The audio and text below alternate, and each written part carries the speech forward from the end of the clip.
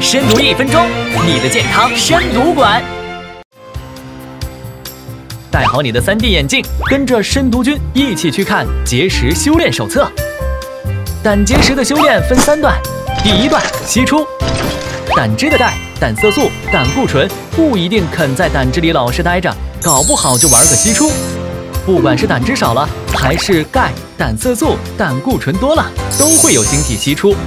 深读菌简单的把析出晶体分成两类：胆固醇类，胆固醇难溶于水，和胆汁中的胆盐、卵磷脂比例刚刚好的时候，才能在胆汁里待着。一旦比例失调就析出。胆红素类，红细胞一死，胆红素就被释放出来，称之为未结合胆红素。